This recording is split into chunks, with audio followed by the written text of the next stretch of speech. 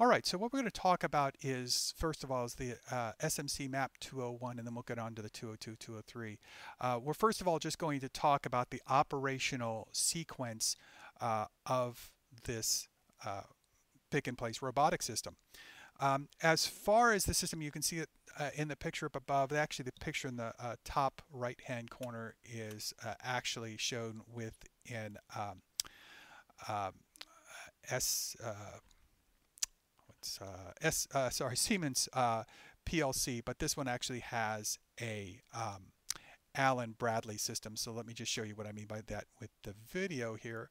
So what we have right down here is an Allen Bradley, um, and that's a MicroLogix 1000. Now, the important thing about the MicroLogix 1000 is that if you're going to go through and connect it up, you can use the MicroStarter uh, RSLogix software.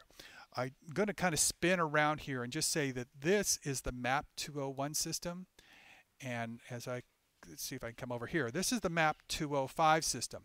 And the MAP 205 system, this is the MAP 201 system that is part of this entire MAP 205 system. And you'll see the 205 system uses a larger PLC. Uh, this PLC is the uh, MicroLogix 1500. Now the thing about the MicroLogix 1500 is that you cannot use the MicroLogix MicroStarter. So the MicroStarter is probably the one that you actually have installed on your own system.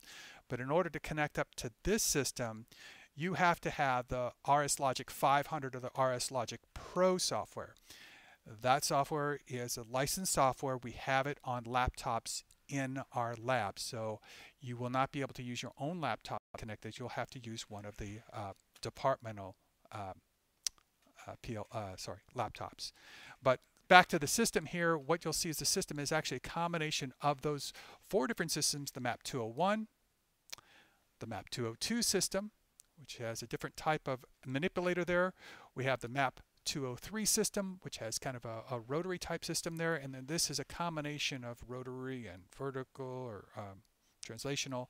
And uh, uh, it, I'll just kind of mention here, it all puts together uh, this body part uh, gets a combination of a bearing, and I can't get the bearing off there, but the bearing fits in there. And then what happens is this sits in the middle of the bearing, and then the cap comes up on top. And so what we're going to be doing is talking about each of the individual systems. Uh, we'll be talking about the body part, the uh, shaft part, which is the 204 system here.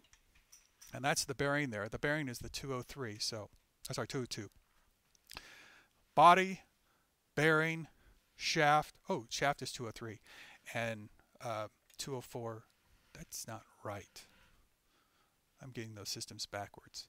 Uh, well, we'll get those worked out. Pretty sure that this is the 202. So we'll see those a little bit later, but the 201 is the one that we're going to focus on here first of all. Uh, it's called the body feeder uh, with detection. And so what do they mean by detection here? Is that we have this body piece here, and it's going to go, let me get this out of the way here so we can see it, this cassette. So what you'll see here is that this piece is going to come down and it will go in there if it is correctly positioned. If it's upside down, what you'll see is that verification piece cannot go down there. And so we're going to be using this cylinder to determine if our body piece is correctly positioned. Uh, what you'll see here is that this is kind of a drop chute. So what happens is um, pieces will fall down here. This block here moves move along here, and so what happens is this one rides on top of this as this one is pushing this one forward, right? And when once it gets pushed forward, it comes back, and once that clears a spot, it'll allow another piece to drop down. So let me just put this one back in here. We'll put this on top. And then if you're in the lab, this makes a lot of noise. All right, just loading it up here. I've got them all loaded up. Okay, so what we're going to do is go through the operation of this, but before we go through the operation of it, uh, what I'd like to do is to go through and return back to the um, documentation here. So if you're in the training manual, what you're going to see in the training manual, um, and I think this is like page uh, 9 or something like that, there is a listing here that shows me the operational sequence of what's going to happen. It actually, if you were in the lab, we'd actually have to go through and turn the air pressure on, make sure it's appropriately set, um, and then go through these different steps. And this is just some a verbose explanation of what those steps are. You run through it once manually, and then you go through and have it run uh, automatic. Now, typically you actually run it through automatically and go back and then uh, do it manual. But I'm just going to start off with the manual environment. But that's not where I want to start with. I'm going to go to the appendix of this documentation. And part of what I mentioned earlier was something called the GRAFCET. So the GRAFCET, I don't know, it's a French word, it's a combination of different words, a conjugate. Uh, basically what it is, is is kind of a flow chart. And hopefully I've got this, I can zoom this in so that you can see it a little bit better. One more time. And so what you'll see on this, it actually has steps. And as I go through and zoom in, what you see, it shows six steps here. And the reason I want to mention that is because in the training manual, it shows nine steps. So which is right? Well, it's six steps, but multiple, what you'd have to do is say, well, this is press the start button. Well, that's not a step. That's just telling you what to do. So there's parts of this which don't match up exactly to what we refer to as the GRAFCET or the actual steps of the process. Now, I do want to kind of describe a little bit of what it's showing you here.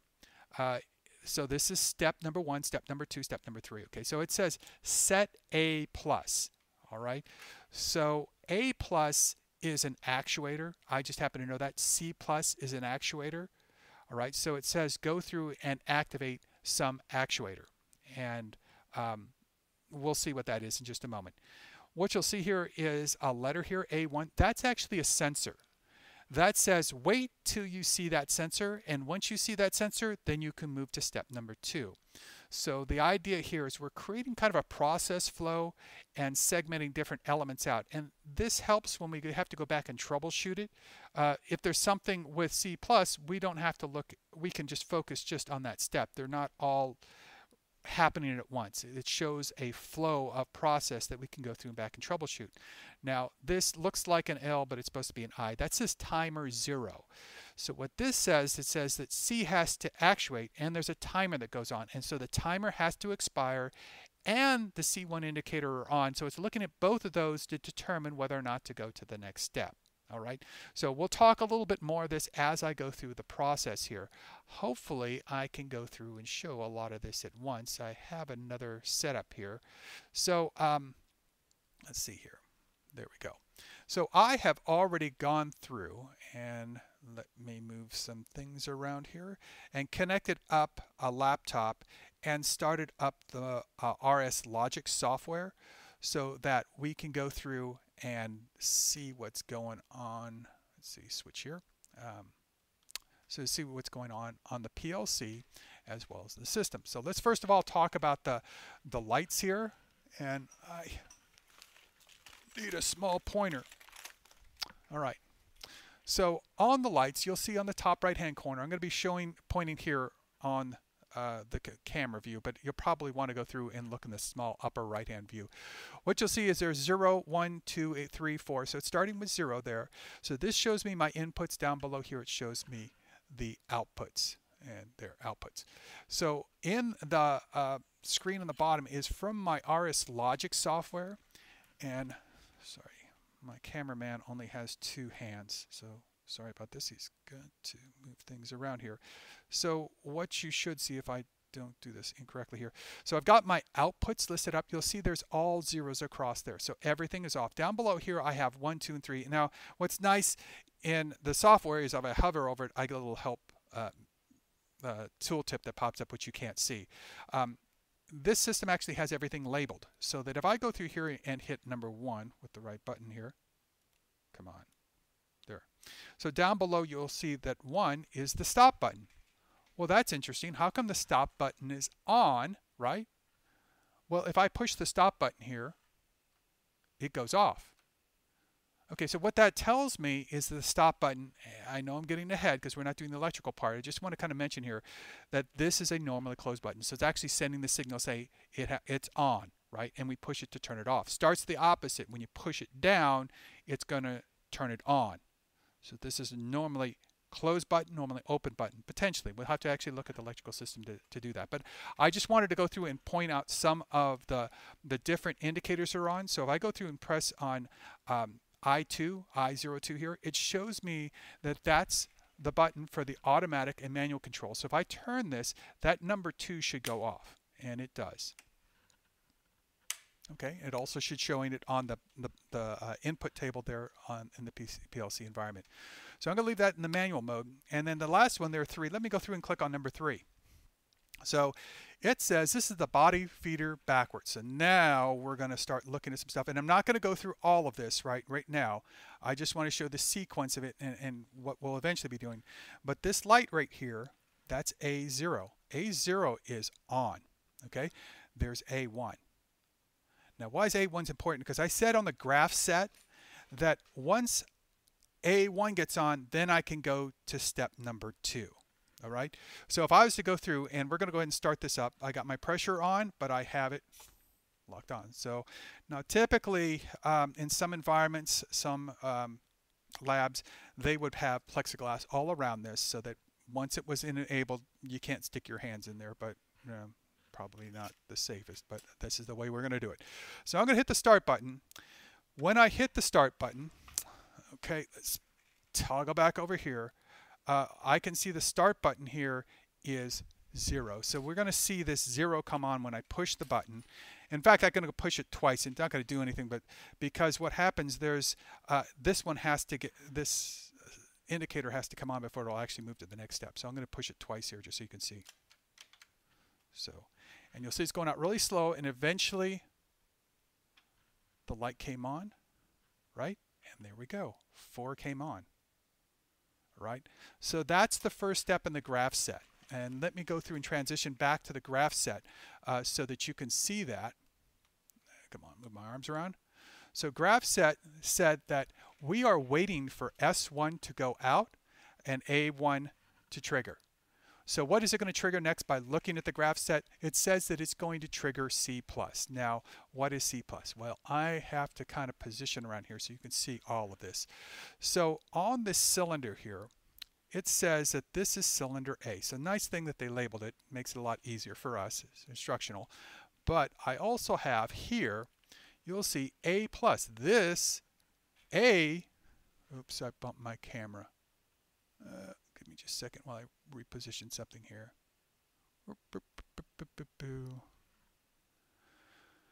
Uh, cameraman.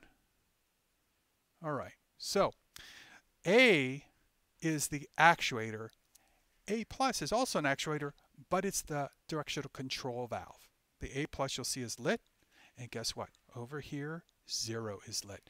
So let's transition back over and take a look at, see down below the output. And when I switch over there, it's going to hide the inputs for just a second. What we're going to see here, body feeder 4, that's A+. plus. That's the valve, not the cylinder. How do we know the cylinder's moved? Well, that's where our inputs, that's where I3 and I4. So one is A0, the other one's A1. That's how I can determine whether or not that cylinder has moved, oops, sorry, has moved forward or not.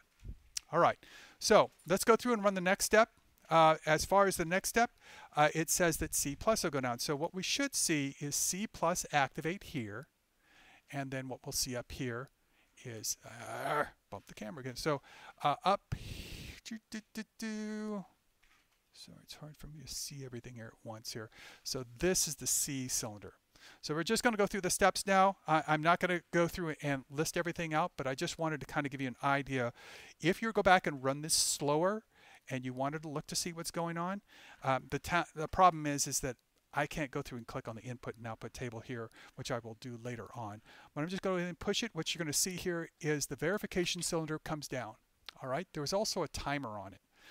The timer, what it does is that was upside down and it came down, it says, hey, if that that bottom red light didn't come on there, if the timer runs out and I haven't hit that bottom yet, that must mean, hey, I've got it upside down. All right, so that's the idea. So what happens next here, uh, that will have to retract. We're eventually going to want to move this thing, this uh, body piece forward. So step two is going to be retracting the verification cylinder. Now that is pinched in, the, the body piece is pinched in up against the body that back there. So it's going to have to retract this piece here. And there's retraction. Actually retracted a little bit faster than it went out. There's a discussion about that with the pneumatic system. The next thing we'll do is to go through and push that forward. So let's go through and rotate over here so we can see it come forward. So uh, this is four. Okay, I lost my steps there. Uh, let's see, one, two, three, four. This is step five. So that's moving that forward. You could take a look at GRAFCET. Now that was moving pretty fast uh, we might want to slow that down a little bit. Now I will say the system is not properly connected up. What there should have been is a speed control valve here. Uh, it's not on there. So what's going to happen here is um, typically in a real system, if this is the right piece, it would be picked up and put on the on the assembly line. But in this case, uh, we don't have an assembly line to put on. So regardless of a good piece or bad piece, it actually goes through and it's going to eject it down this chute. So what happens, because this doesn't have a, a speed control valve, uh, step back. Yeah, it kicks it out pretty fast. Uh, so that's where we want to have the speed control valve. And if I went back to the 205 system, you'll see um, on our 205 system, zoom down here, the 205 system, wait, there's no flow control valve there either. Well, it happens to be back here. All right, so that's one thing that's missing on the system. Who knows who put it together, forgot to put that in. Eh, maybe I should go through and put one in, right? So that's the execution of it. I'm going to go through and run this one more time here. As I said, we normally do it automatic first, but now we'll watch the whole thing in its full glory. Uh, everything is right. Let's go through and switch to automatic. And as I said, you know, you could go back and look at all the inputs and outputs out one by one. Um, I'll show you where you can look those up as well. Oops, am I on automatic? Yeah, it's pushing it forward. Real slow. Verification cylinder, checked out okay, retract, push forward, and then eject. All right, so that's the uh, SMC MAP 201 system. Uh, what we'll be doing next is going through and talking about the, the pneumatic system, and then we'll go through and talk um, about the um, uh, the uh, electrical system after that. So stay tuned for more details on that. And that completes the operational sequence and the GRAFCET part of the MAP 201 system.